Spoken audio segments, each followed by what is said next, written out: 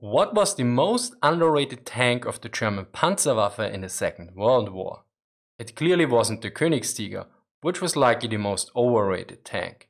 Nor the Panzer IV, which is considered the workhorse of the German armored forces by many. The Tiger and the Panther are also quite well represented all over the place. Similarly, the Panzer III gets its fair share of representation as well. Which leaves us with the Panzerkampfwagen 1 and 2. Of those two Panzerkampfwagen, one is generally considered the most lackluster. Additionally, even among contemporaries, it was seen at best as a mediocre tank and usually rating was and is far less favorable in both pre-war and post-war assessments. And if we look at the bigger picture, like the historical context and less the technical limitations, it becomes rather apparent how important the Panzerkampfwagen 1 was for development of the German Panzer arm and that it was clearly underrated for the role it played. Now let's start with the pre-war assessment. There were basically two factions within the German army when it came to rearmament. There was one that wanted a very fast rearmament, who opted for the Panzer I, since they wanted as many Panzers as soon as possible. The best known man of this faction was Heinz Guderian, who is often regarded as the father of the Panzerwaffe. Now the other side wanted a thorough and gradual expansion of the German army. One of the representatives of this side is General Ludwig Beck, he insisted that a majority of the tanks should be the Panzerkampfwagen 3, since it had an anti-tank gun and tank versus tank combat was assumed to be one of the three main tasks the Panzers should be able to perform. Beck considered such an armament of machine gun only to be inadequate. In addition, he recalled the three tasks of the tanks, which he saw in support of the infantry, in the operational use, and in the anti-tank role. However, a machine gun tank would not be sufficient either for operational or anti-tank role. The General Staff therefore demanded to equip the mass of the armored forces with the medium Type 3 with 3.7 cm cannon. These assessments by Beck were soon confirmed by the experience of the Germans when they sent around 70 Panzers to Spain during the Spanish Civil War. There were several issues with the Panzer I, like the overheating of the engine, many instances of detracking, vulnerable vision slits, and the vulnerability of the Panzer against armor-piercing rifle caliber ammunition, yet not regular rifle ammunition. It was especially outclassed by the Soviet T-26 with its 45mm gun that could easily pick off Panzers at long range, where they could do nothing with the twin machine guns. These observations were also confirmed by the Soviets, who evaluated the captured Panzer I, something Peter from Tank Archives and I discuss in this video on my second channel. Furthermore, the French also took notice and likely felt quite relieved. In January 1937, for example, a report in the Chamber of Deputies ruled that French superiority in tank weapons was thus proven. The light German tanks had been perforated like sieves, because the Germans had sacrificed protection over speed.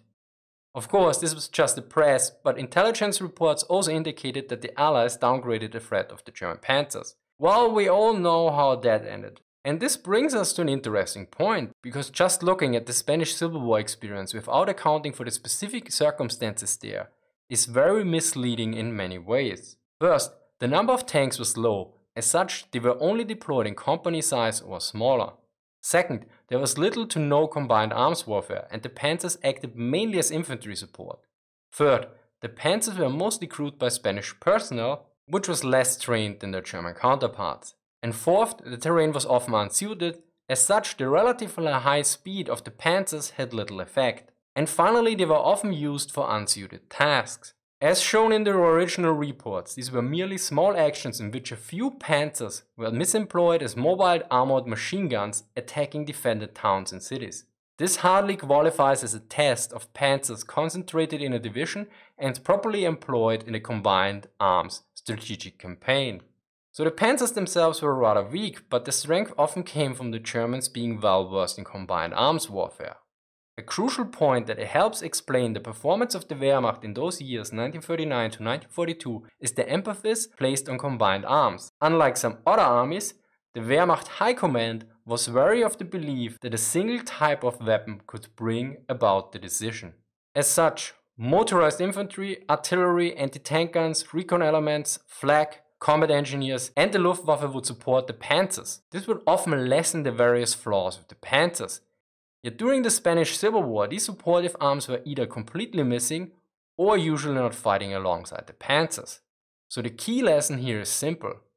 Combined arms warfare is good for you, just like Quake is for everyone. Another issue is, as much as the Panzer I failed in the Spanish Civil War, there was not a real alternative to send to Spain, since the other Panzers were only available in limited numbers and too important to lose. If you want to learn more about the German experience in Spain with Panzers, be sure to check out this video on my second channel. Furthermore, it is also important to point out that the Panzerkampfwagen 1 was not a training tank that then was pushed into combat.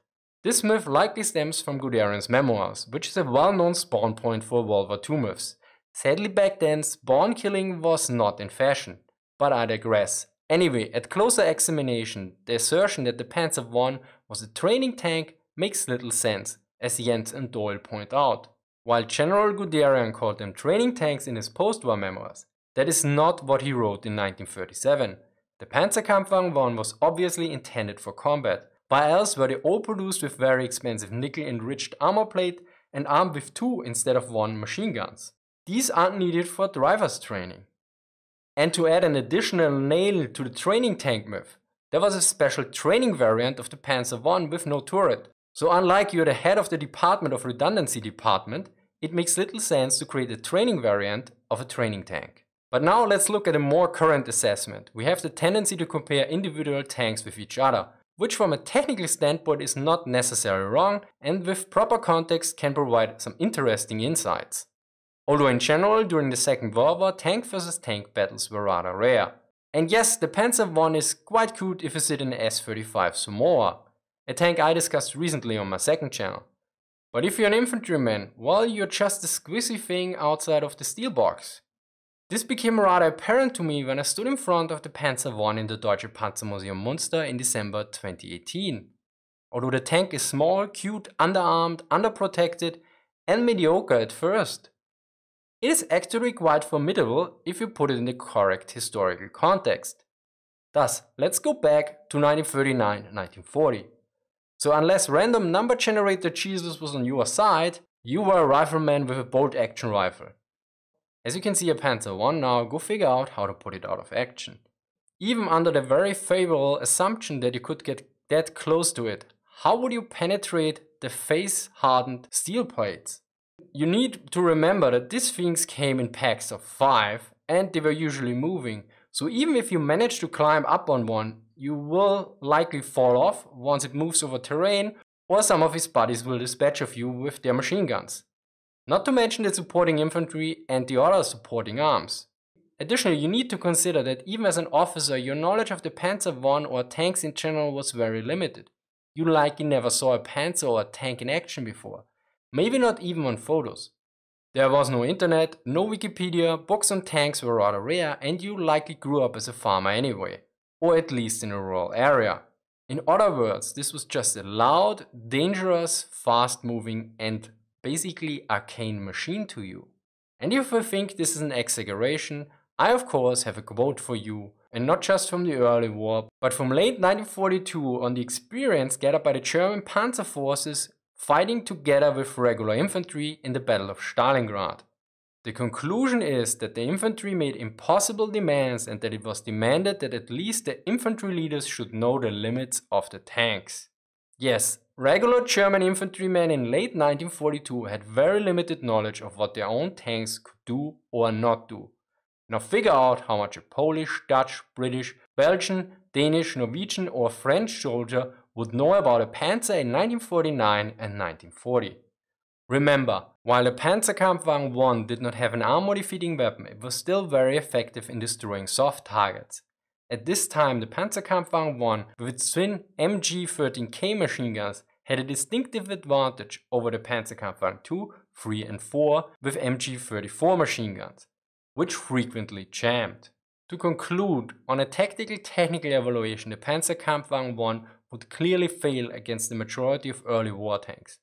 Yet by looking at the larger context of the early Panzerwaffe and its development, the Panzer I played a crucial role that could not have been provided by another tank in the same time span.